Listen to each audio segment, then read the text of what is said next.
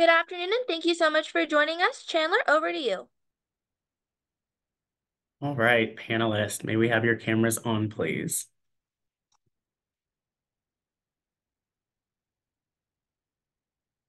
Awesome. Good afternoon, everyone, and thank you all for joining us for today's webinar on the very important topic of navigating cyber frontiers in government contracting to ensure a more secure government. I am Chandler Moore with Leadership Connect, and I'm excited to introduce you to our esteemed panelists contributing to today's conversation. We have Mr. David Antonio Green, Senior Vice President of Global Strategic Partnerships at Hitachi Cyber. We have Ms. Maureen Huck, Senior Manager in Cybersecurity and Technology Consulting, joining us from Ernst & Young. And finally, we have Mr. Jordan Burris, Vice President and Head of Public Sector Strategy at Socure. Thank you all for being here this afternoon. Quick reminder for everyone on the line, we will have a Q&A session towards the end of today's call, so please use the chat to enter any questions you may have. So without further ado, let's get into our first question. This first question will be open to all panelists. And the question is, what are some of the trends or current trends in government contracting that are driving the need for enhanced cybersecurity measures? Can we start with you, David? Uh, hi, Chandler, and thank you so much for having me here. And, and good afternoon to my uh, fellow panelists and also to the viewing audience. Um, I think the number one trend that for me in my patch that I'm seeing is the fact that government contracting has moved away from being just normal paper-based and it's it's now very digital. More and more governments and government agencies are leveraging uh, portals. So there's that, um, I would say, business to business to business type interaction that's taken place. And even from a connectivity perspective, there is that connectivity that we're seeing between um, trusted third parties that gives rise for the need for greater um, cybersecurity measures because it's just a matter of time. One third party could become that active vector for a threat actor to gain access to a government network. Awesome. Maureen, would you like to contribute? Sure. Um, hi, everyone. Maureen Huck, um, Thanks, Chandler, for the opportunity for uh, participating in the panel today. Welcome, listeners. Um, I'd say, you know, in my 27-year career in um, in government contracting, specifically in cybersecurity, I've never really seen as many recent executive orders and OMB memos as I have in the last four years. It's been a it's been a flood of. Uh, I mean, uh, for those of you who have been in cybersecurity and in um, you know, federal uh, or in uh, U.S. government contracting, you've seen HSPD 12 initiatives and PKI and things like that in the last uh, uh, 20 years. But in the last four, we've just seen this influx of executive orders that are, uh, you know, very targeted at cybersecurity uh, initiatives like zero trust cybersecurity, improving the nation's critical infrastructure and cybersecurity measures for critical infrastructure uh, now we're seeing a lot of uh, executive orders followed by followed up by the usual OMB memos to enforce those uh, executive visions for artificial intelligence and the risks uh, in artificial intelligence. So I'd say, um, you know, in the last uh, ten years or so, in uh, at least U.S. government contracting, and probably true. I'm sure David and Jordan can can reassert that, can assert that for international uh, organizations and entities as well. Um, there's been a lot of concentration on cybersecurity in um, in protecting government and in government um, visions for um, improving cybersecurity. Awesome, Jordan. Yeah, anything absolutely. to contribute? Absolutely, and, and thank you, Chandler, for having me today. You know, I think generally, you know, from my standpoint, and you know, to to to Maureen's point, uh, I actually used to work on the teams uh, associated with creating some of these executive orders and these OMB memoranda. So instead of focusing, I guess, broadly on the the what is happening, right? Because yes, there's increases in cybersecurity, there's better looks at supply chain, et cetera. Uh, you know, I want to take a moment to look at the why. Like, why is all this happening? Almost in some cases, and, and really, when it comes to government contracting, there's been just this recognition that the you know a lot of the direction, a lot of the guidance, a lot of the mandates had been placed on agencies in particular and kind of left out the missing piece in understanding and really recognizing that you know, vendors or the, the industry broadly played a role in helping to secure the infrastructure. And in some cases, there was, if you will, a black box uh, to the government in terms of what was happening uh, with those services and products, which, you know, um, drastically altered, if you will, the security posture of the organizations that they were serving. And so, so generally, I would say that the the biggest trend, the biggest focus and change is making sure that there's accountability all the way to industry as well uh, uh, to better adopt those uh, security practices that may be needed to to safeguard information systems and confirm uh, that they're able to better support agency missions overall. Awesome. Thank you. Um, the next question is for you, Maureen. Can you discuss some of the unique challenges that government agencies face when it comes to zero trust in the contracting space? Yeah, sure. Um, you know, zero trust um, has been a somewhat of a buzzword in industry for a while, you know, going back quite a few years. And it wasn't until the executive order um, uh, came out in 2021 um, to sort of stress and spell out, uh, you know, zero trust uh, requirements and be a little bit more prescriptive, followed up by that OMB memo uh, M2209 the next year, that we really saw zero trust gain some momentum in, in the government. I mean, certainly the OMB memo required US uh, federal civilian agencies to submit their plans for zero trust uh, implementation. Um, and and that was the first time we really saw a lot of this uh, push around zero trust. And it is uh, you, you'll talk to every CISO in the U.S. government um, and across, and they'll tell you it's an unfunded mandate.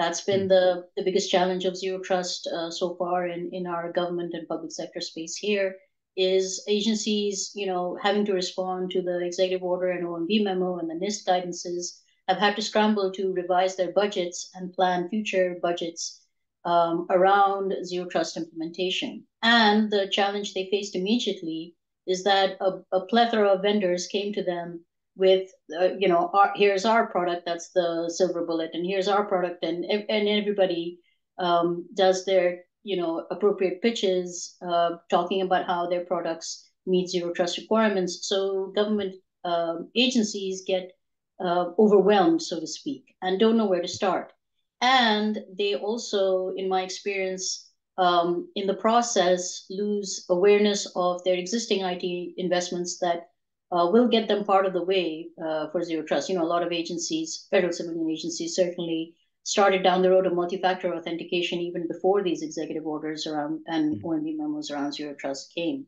Um, and they just picked up steam and continued the momentum around their existing IT investments uh, all the while being faced with you know uh, a plethora of new products and new acronyms around it, uh, zero trust.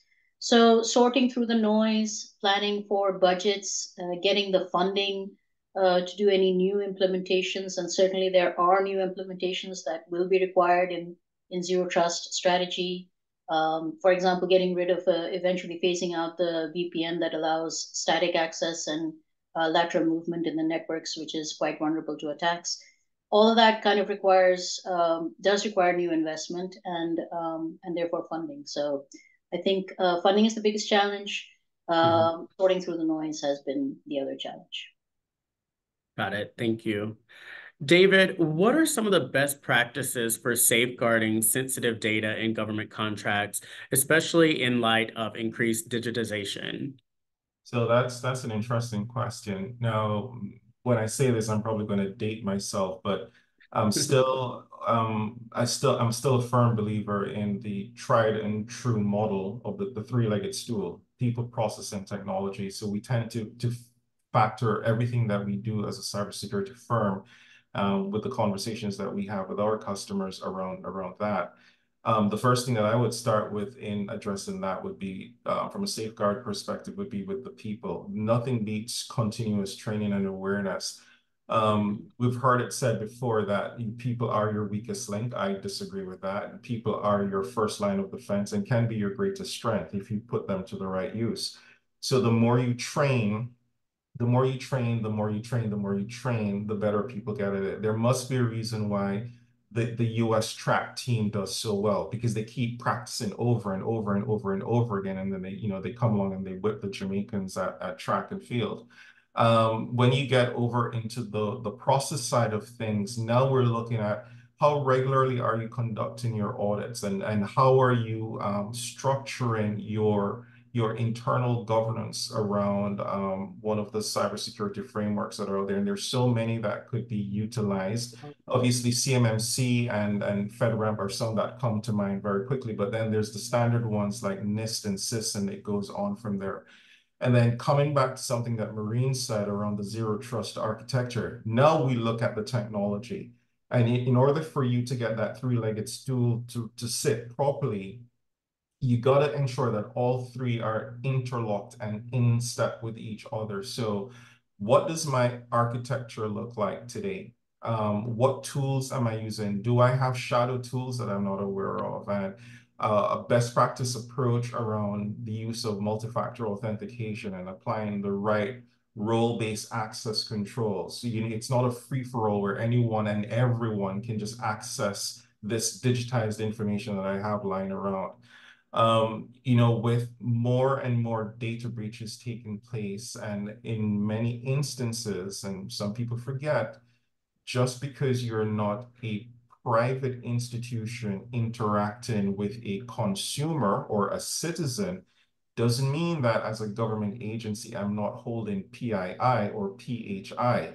And this is something that has to be protected. So from a privacy perspective, what am I doing where that's concerned? And that then brings in the big question of incident response. Do I have an incident response approach or process that has been defined? Has it been tested? Have I sat down and taken the team through what do you do if something goes wrong, etc. So these are all pieces that fit together from a best practice perspective. And obviously, we can't all get it right, but you've got to start somewhere and you've got to keep at it continuously so that it improves over time. And the last piece of this from a best practice perspective that I like to focus on is that whole concept of measurement and monitoring. Um, there's that old management saying, you can't manage what you don't measure. Um, Mm-hmm. So how am I actually paying attention to the environment today? Do I know how many vulnerabilities that I have in the environment? that's something that falls flat on its face many times. And vulnerabilities not only at the application level, but also at the infrastructure level. How long is the vulnerability or how long has a vulnerability remained in the environment? I've seen time and time again, as from an audit perspective, vulnerabilities are there 30, 60, 90, 120 days, and you're thinking, good grief, what are you doing? The sooner you get to it, the faster you reduce the risk that's associated with it. So all of this comes back into best practice. And I know many persons will cry and say, listen, this all sounds good and well. I have limited budgets, I have limited time, and I have limited resources. And there's no way that I can get through an eight hour day and attend to everything that's coming down the pipe. Yeah. In some instances, and we appreciate this, there are agencies where you know, there's one person or only two persons and they have to handle IT operations, application management, and the list goes on and on. But this is the final piece that I want to um, drive forward. It's called prioritization. Unless and until you understand what your crown jewels are and you understand the priorities that are associated with them, you won't be in a position where you can say, okay, this is high critical. I need to deal with this first this is low critical. I'll get to it in a reasonable amount of time. But if you're not in a framework of operating that way, then you'll be, you know, no doubt chasing your tail. So that for me would be some of the best strategies that I could come up with to safeguard um, government contract data today. Awesome. Thank you for sharing those best practices. Jordan, how important is collaboration between industry leaders, government experts, and cybersecurity professionals in creating a more secure environment for government contracts? Well, you know, there's a saying: if you want to go fast, go alone. If you want to go far, go together. Right? Like that. That is uh, generally the way we need to be thinking about uh, technology collaboration um, and what's what's needed for government in particular. Now, I firmly believe in having sat on both sides, right? That the government must lead in certain spaces, especially when it comes to understanding its mission, understanding um, where there are gaps in particular, right? But I believe firmly that uh, with that, industry has to be at the table uh, working with them, not just industry, also academia, also you know working with members of the public, et cetera. It's because you can build effectively what is a better product, a better offering uh, overall. When, when it comes to looking at what's happening on the other side of the the spectrum, right? If you're thinking about nation states, if you're thinking about criminal organizations, et cetera, they're not thinking about you know devising their attacks in a manner that's you know siloed they're looking at how do we actually apply this at scale? How do we share with each other in order to do better in this space? So it's incumbent on, you know, both sectors really to be collaborating uh, broadly to understand how do you, you know, promote a collective defense. It also means on the industry side, we have to do better uh, in terms of how we are presenting uh, what we are, are, bringing to the table, right? It's not mm-hmm. always about selling, it's about solving the problem um, yeah. that is that is required. You know, one of the areas I, I get to work in today is identity uh, verification and fraud prevention, right? And the number one thing I sit down with any uh, government leader is to try to basically demystify and better understand kind of what led us to where we currently are today, and right, and how do we potentially want to try to approach it, both from a policy lens, from you know regulatory lens if that applies from technology limitations that may exist, whether it's their you know current legacy systems um, or or even you know trends that are evolving with you know new advancements, et cetera. But in having that really candid conversation, then you start to uh, get insight into what needs to change, what needs to evolve, et cetera. Right. So when it comes to um, you know collaboration uh, in in, uh, in particular, specifically as it relates to to government and, and contracts, uh, it's important to to have that two way dialogue, uh, to be to be at the table, finding ways to contribute, add value, finding ways to further the mission uh, ultimately, and, and then confirming that you know we're, we're better able to solve the problems that the the agency uh, mission owners are seeing on a daily basis. Awesome. I couldn't agree more. It's not always about selling, it's about providing a solution. Thank you. I appreciate that. Before we move on to our next question, I just want to remind everyone that if you have a question, please enter it into the chat as our Q&A session will take place after this next round of questions. All right, back to you, Maureen. What role do you feel AI and machine learning play in enhancing cybersecurity defenses? Ooh, that uh, that buzzword AI that everybody's been talking about, huh? So we yes. can't get through a cybersecurity conversation without, or any conversation technology without talking about AI because it's so disruptive. Yeah. Um, you know, uh, I've talked to AI leaders in industry and in my own uh, firm, and uh, they describe AI as both the solution and the problem, right? Um, for um, uh, technology in general being disruptive as a as a disruptive uh, technology enabler, but also for cybersecurity. I mean, we've got customers in U.S. Uh, agencies asking us, well, how can you know give me some AI tools that will improve my SOC operations? Um, that mm-hmm. will improve, uh, you know, penetration testing and, and vulnerability scanning and things like that. And certainly there will be AI powered tools that are coming in the market, coming on the market soon, uh, are already in testing uh, phases and, and, and beta phases right now, uh, will be in minimum viable product offerings pretty soon this summer even, or earlier perhaps. Um, that will start to enable faster, better, more efficient SOC operations, security operations center capabilities, like SOC analysts running reports uh, it takes, um, you know, a, a, mountain of information for a SOC analyst to get through to compile and, and produce their reports, and AI-powered tools are going to certainly help that. Um, and at the same time, the leaning into AI is scaring uh, all our customers, right? In in U.S. government contracting, uh, we're seeing customers, or U.S. government space, I should say, we, we're seeing customers express a lot of concern about the risks in AI. And that opens up a whole vector of discussions around risk management and what you should be doing to manage the risks in AI. Um, you know, everything from, oh, do you have a, um, you know, a model or large uh, language uh, model bill of materials uh, to track the supply chain uh, of the AI models that you're going to be implementing uh, or proving out? Do you have uh, an awareness of the inventory of your AI assets. I mean, there are conversations in technology that have been ongoing for many years, like risk management frameworks and supply chain, cyber supply chain risk management. And none of that has gone away. If anything, they've become more important now with AI and then there's the problem of the unique attacks that are net new with AI technologies. We're talking about prompt injection. We're talking about possible model model AI model replication. Uh, we're talking about you know obviously uh, toxicity and biases inherent in um, the data that the data sets that AI models will learn on. So all of those become um, you know uh, they all have a cybersecurity angle. Uh, there's no CISO in any organization who won't tell you that they are not concerned about the cyber risks of AI. Um, and there's no CISO in any organization who won't tell you they're also excited about the power of AI to help them. So um, it's it's uh, fast evolving. You got to keep up with it. You gotta manage the risks and have awareness of those risks in the very beginning of such a disruptive technology. The bell curve is we're at the trough, right? We haven't right uh, reached the peak yet, and uh, in that uh, in that part of the curve, uh, you learn and get awareness of your risks as much as you can because governance is everything in the early part of that bell curve for technology adoption. Absolutely. Awesome. David, what are the most critical recent changes in cybersecurity regulations that businesses should be aware of? Huh. Um, that um, cybersecurity is becoming business that could put you in jail if, if you're not careful.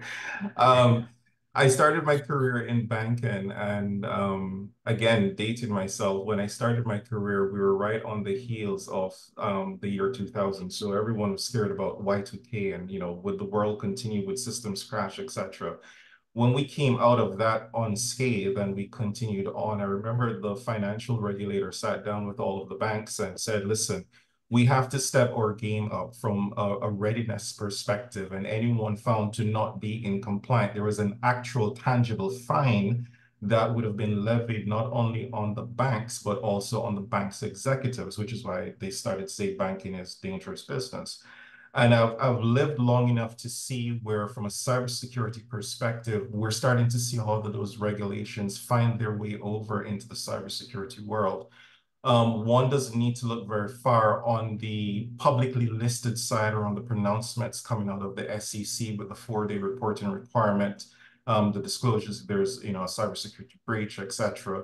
And even from a, for those um, providers around critical infrastructure, um, if I'm not mistaken, there's a um, there's a 72 hour reporting requirement, etc. But to tie it back into this particular conversation around government contracting, um, mm-hmm. there are about three or four that stand out from a regulatory perspective that we ought to be aware of. Um, the first one is around the safeguarding of covered contractor information. So there's the Federal Acquisition Regulations requirement. This is aligned to the NIST SP 800 framework. And there are around 15 or so basic safeguards that an, an organization or an entity has to go through just to make certain that they're properly dealing with federal contract information or even unclassified or um, controlled unclassified information, as they call it.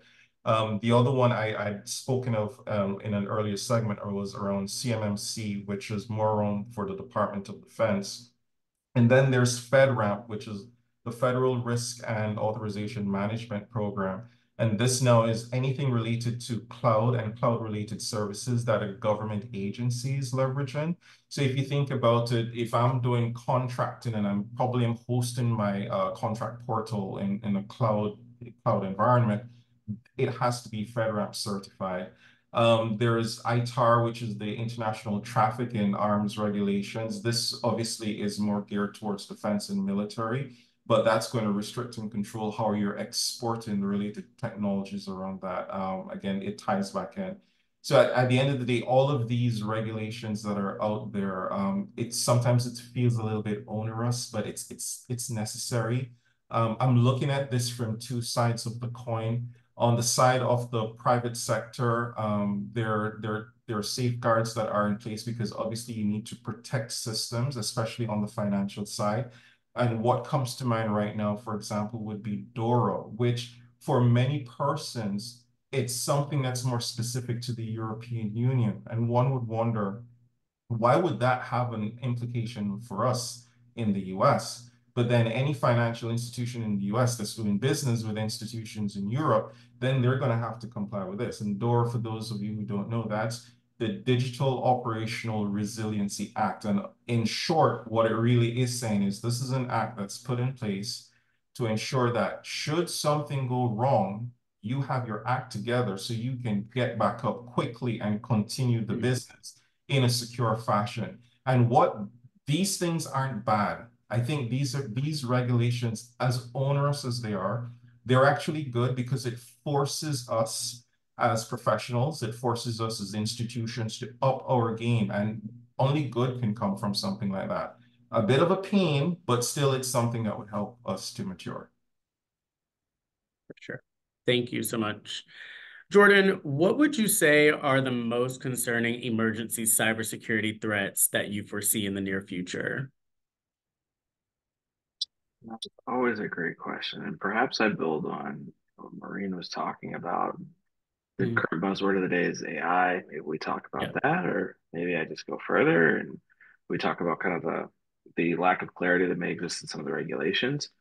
For me, I would, uh, in reality, I would say it's all the above. I would say you can throw another buzzwords like quantum. That's going to be the next cool thing that everyone's probably talking about at some point here soon. Um, uh, honestly, it's the pace of change. Uh, so w- when you really want to look at like what is the biggest threat, everything is getting faster and the need to stay ahead of it is becoming more and more important. Specifically, when we're talking about security and kind of how we're needing to operate, uh, it's long been this thought, this process that you can almost, uh, in some cases, you know, build something, maybe secure it later. There's been pushes to do secure by design, etc. even that in this day and age isn't necessarily good enough because a lot of um, implementations that, that are done, unfortunately, uh, mm-hmm.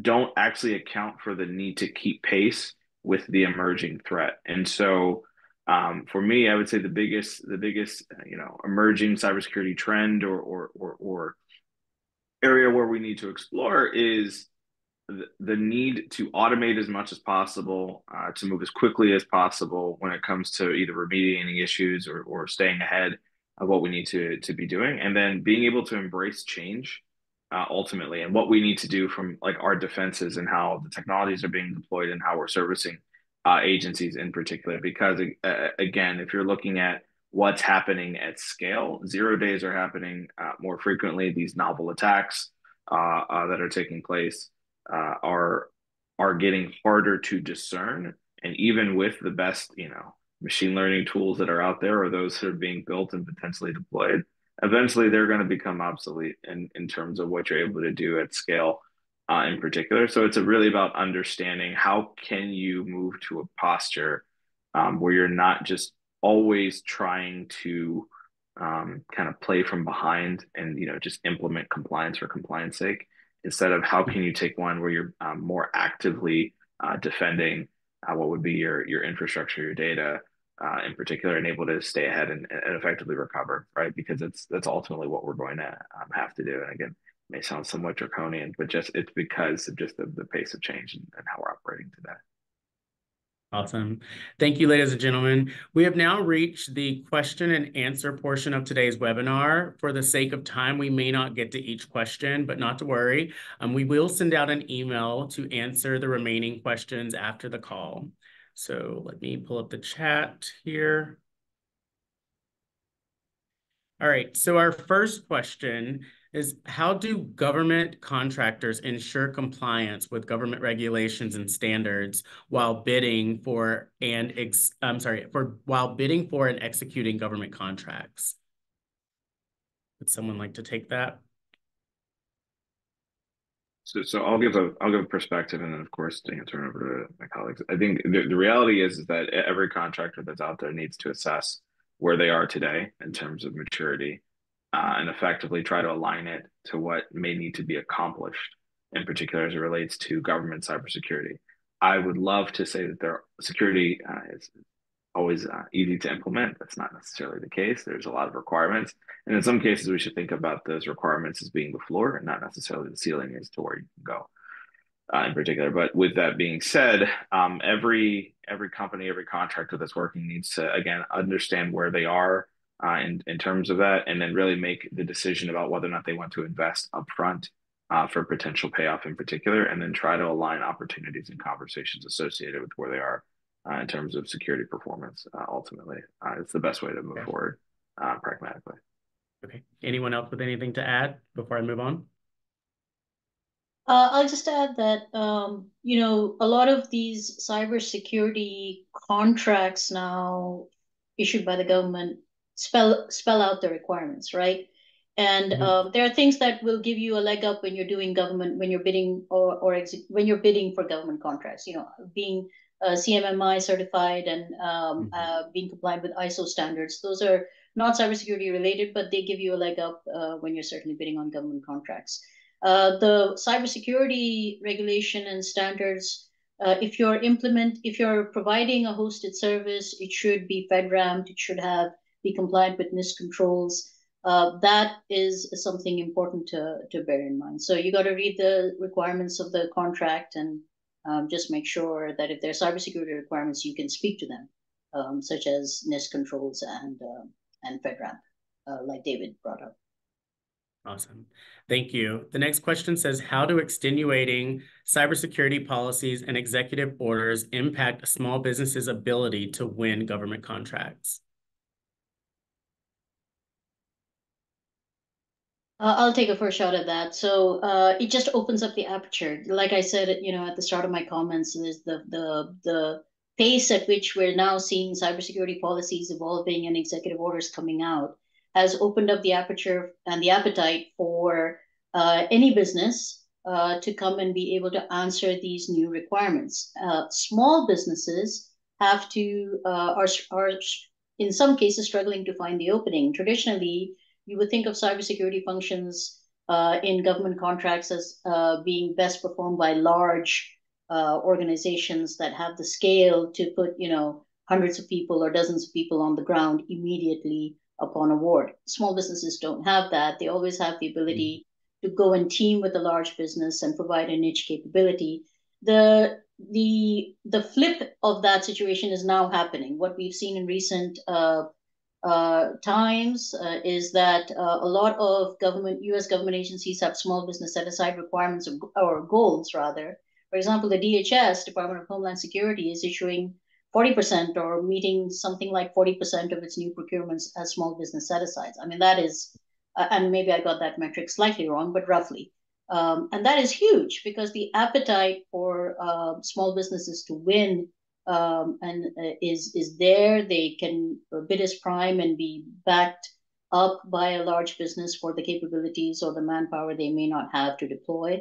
Uh, but if they can concentrate on a niche in cybersecurity, um, you know, uh, zero trust uh, architecture, uh, if they can concentrate on cyber managed services as a niche, uh, something like that, uh, they will uh, be successful. Awesome. All right, our next question is specifically for Jordan. It says, how was how has your experience working within the federal government shifted your approach and perspective in the world of government contracting? That is a it's a wonderful question. I would say as a as a boomerang back to industry, right? So I started in industry, went into government for a period of time, and came back out. What I would say is I've had, I personally have a greater appreciation for the complexity associated with operating uh, at scale uh, for for the federal government, right? And uh, effectively what must be done to contribute to the mission. I think there's one of the things that you know needs to be thought of, especially as uh, industry is approaching uh, the government, is is much to the point I raised earlier, is how we're presenting ourselves uh, or how we're presenting the solutions and approaches that are being applied. Um, and, and, really trying to come from a perspective of solving the problems that they're seeing, whether it be today or one that may be on the horizon. Government's open to hearing um, all these items. What they're not necessarily open to is hearing the marketing slick sheet. Uh, and so um, being more of a trusted partner and advisor is, is really the, the main thing that I've taken away from my time working with government. Uh, and that's how you help awesome. the, the whole conversation forward. Awesome. The next question says, where are the common pitfalls and failures of security that exist between government and industry, and what steps can be taken to prevent these?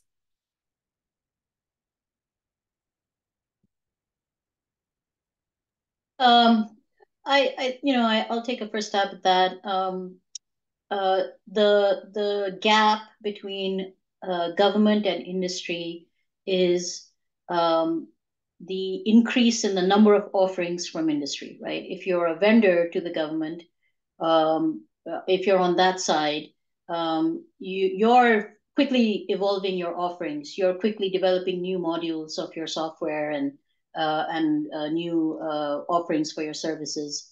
Um, and the problem is that the government is uh, not as quick on the uptake as the private sector is, right? The private sector uh, CIOs and CISOs are responsible for uh, and accountable for certain cost saving metrics, right? The, the saving uh, in the cost of operations uh, and, and saving in the cost of their existing IT investments. That's what drives uh, their job functions, and they're reportable for that, and they will be quick to adopt technologies that help them get there.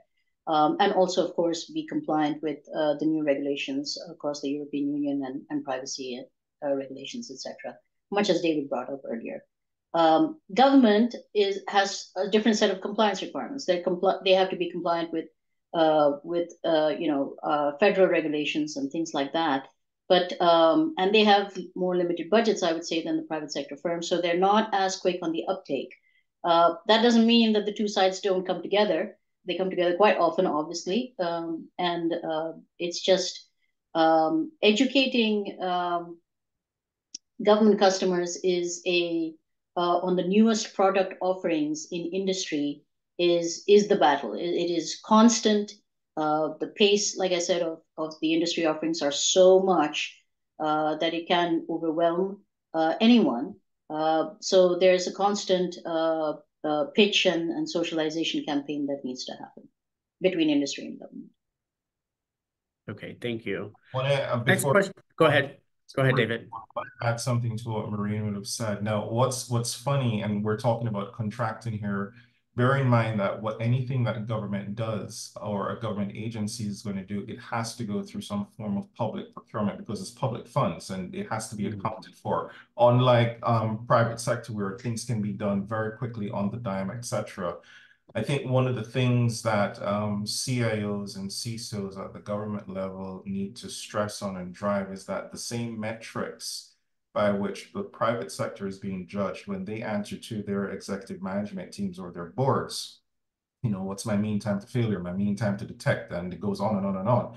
Those metrics still apply as well at the government level. So if you're looking for some kind of intersection as to perhaps how government could step up, it's to treat this like how you would treat business. Yes, we understand there is public procurement involved and the wheels may turn a little slowly, but you, the message has to be driven that this can have long lasting impact at the end of the day if the metrics aren't followed. Awesome. Thank you. The next question says, how do you best manage awareness and involvement of AI features inserted into existing vendor products to ensure it meets our internal security requirements? So I, I think it's a couple of things. Uh, one, it's better understanding the kind of the full stack and how um, there's interdependent system risk or how solutions have been deployed with any solution. You know, there's many vendor solutions today, even those that are in the FedRAMP marketplace in particular, where they're actually embedded a number of different offerings, all of which may be using AI in some way, shape, or form. But there's no visibility into what's going on. And I think for me, what that plays into kind of the bigger picture is that we need to have just greater transparency related to what is being done, how models are being developed, how they're being um, uh, produced and making that available at the uh, at the request of the government in particular. Now, I guess uh, having lived some of this, right, one of the things that we have to do as a company that leverages machine learning uh, and, and AI broadly for delivering our services is we we do this by default, right? We we produce this because we know that it is incumbent on us to do this from the private sector side uh, of the world, right? But bringing and replicating that type of process within government is something that still needs to be built on, uh, in particular, right? So it's you know again getting the visibility and then making sure that with that strong governance, you're able to share what is happening broadly with with the government in a more transparent manner. Awesome. Anyone else? Yeah, I'll, I'll just echo a, a thought uh, that I expressed earlier, you know, um, everybody knows software bill of materials, right? The ability to trace your uh, software supply chain. Um, none of that is yet accounting for um, AI software, right, or AI models, and certainly um, there are unique. There's a uniqueness to AI as a software that may not fit the current software bill of materials structure. Um, so you may have to evolve uh, the SBOM, the software bill of materials that's used so widely in, in US government um, uh, uh, supply chains, uh, into a model bill of materials or a AI bill of materials to sort of help you trace the lineage of that AI model development that you're about to adopt in the government organization. Do you know where the model was developed and all the components of it, where they came from? I mean, you know, we're certainly seeing a lot of attention now to uh, foreign production of components of software, uh, right? Um, and and a lot of sensitivity around around that. Um, uh, but uh, but you know, despite all of that, uh, how much awareness do we have of the supply chain in in AI? And that needs to be built and governed. Thank you. Next question says, how have your organizations adapted to NIST 2.0 framework unveiled earlier this year?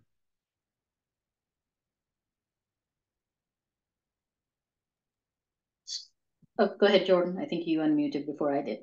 No, I, so for me, I was going to say like um, framework roulette.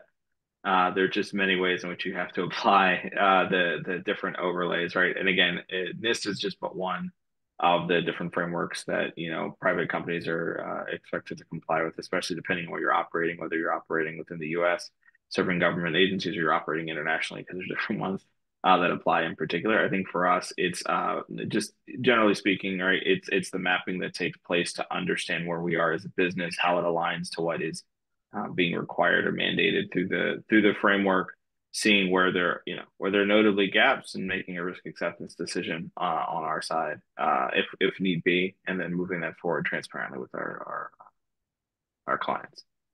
It, it's a similar thing for us as well. We are a, a, managed service, managed security services provider. So obviously we have SOX as well. And in, in addition to complying with SOC 2 Type 2, it's similar to, to Jordan. It's the same thing for us. Um, sat down with the framework, looked it over, and quickly started to make the adjustments where needed. And of course, there is some degree of overlap between what SOC 2 Type 2 might be asking for, et cetera. So we just adjust the suit.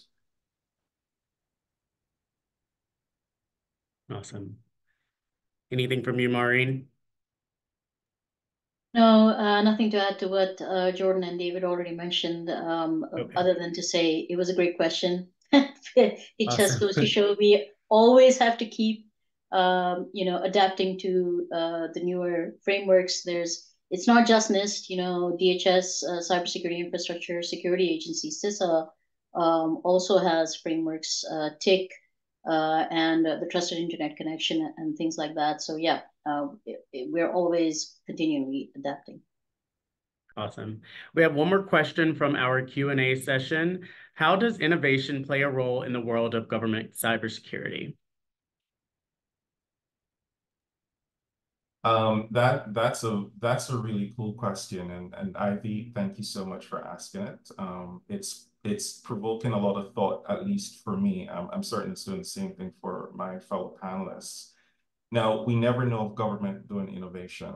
the two words tend to go in, in opposite directions of each other, but there's a huge opportunity there. And I think the opportunity comes in from the standpoint of partnership, whether it's it's public-private partnership or government um, partnering with academia to see where it can um, improve itself. Um, we all know, especially, you know, and Maureen spoke to it, with the advent of AI, it seems as if everyone and anyone now is a, a cyber sleuth and, you know, they can up their game immediately. So it's, it's a constant ding dong fight. But that innovation for government can come in if government says, look, I will partner with the private sector to come up with innovative ways, or I'll partner with academia to better understand how I can improve. And then it can roll out not only for government, but roll out for everyone else. So for me, that's how I see innovation playing a critical role in government cybersecurity. I'm not sure what Maureen and, and Jordan feel about that, but that definitely for me, it's a, it's a huge opportunity from a, a public-private partnership perspective. Uh, I'll add a thought, and I'm sure Jordan has um, uh, definitely a, a better qualitative thought, thought to give than I do, given his experience in the in the federal government here. But um, uh, you know, it's it's uh, it's a very broad question, um, Ivy, and and I and you know we've we've been saying all along that uh, government is very concerned about cybersecurity. They, no agency wants to be in the newspapers for the wrong reason for a mm-hmm. data breach, and yet they have it. Um, so uh, they do need to innovate. They, you know, my government customers that I speak to constantly recognize the need to innovate, um, but they are very concerned about implementing proper governance as part of innovation, adopting innovation. Um, there is no agency that will tell you that as part of adopting any technology innovation, uh, they are not going to adapt their risk management frameworks uh, or practices, uh, and that they're not going to implement governance over the adoption. You can't just implement a proof of concept for AI, for example, at an agency and deploy it to production and make it go live without a bunch of oversight and governance and uh, and consensus and, and training around it. So uh, training is another aspect I think that innovation offers. It's it's got a lot of um, you know what we're seeing in government cybersecurity is the need to increase uh, upskilling in cybersecurity, increase uh, training um, to have the ability for the government workforce to keep up uh, with uh, cybersecurity innovation and innovation in general. And uh, you will see that in government cybersecurity workforce demands and workforce training demands are uh, exponentially increasing. So I think innovation is is creating a huge demand there. And I think uh, to add on to what my fellow panelists have said, uh, you know, I, I, look at it this way: right? innovation in and of itself within government is essential. There is a number of agencies that are doing innovative and creative things. If you even think about the compliance frameworks that we talked about, there's whole efforts that have been around and been working on to how do you actually automate that to using uh, um, uh, lines of code effectively to help run the compliance process in particular.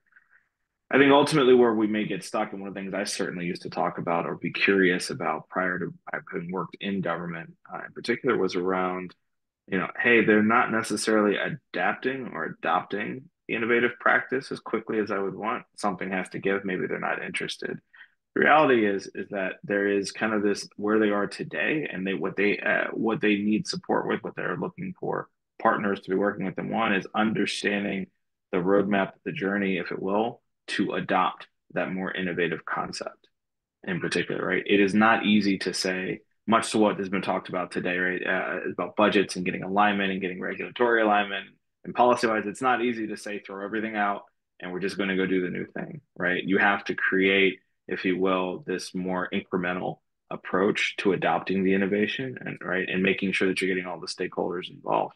But it's essential to everything that the government has to do. It's the only reason in some cases um, that during the you know things like the height of the pandemic, they were able to shift completely to uh, remote work. It's because innovation had to be applied. Right, it's one of the largest employers that had to basically take their entire workforce and tell them to go home uh, right, and and still run the country on behalf of it, right. That's a lot of that is attributed to the innovation that had to take place years prior, uh, many of which they were leading, if you will, what was being done even within the sector, right. Um, and even some of the requirements we talk about today at MFA, they started in government and it's just gotten applied, and maybe industry has surpassed today, but it started with them. So I think ultimately it's it's you know understanding that there may be uh, slow times, slow periods where where it seems like they're not really innovating. It's really because they're trying to align the roadmap ultimately to execute. So you know, for anyone working within the the the, government space, it's it's just imperative to to work with them on building kind of that vision and that long term objective to be able to execute. Awesome. Well, thank you to everyone who submitted a question, and thank you to our panelists for answering each of those questions on the fly. Um, I do have one final question for all three of our panelists. For someone who's just starting out in cybersecurity, what fundamental knowledge should they focus on acquiring?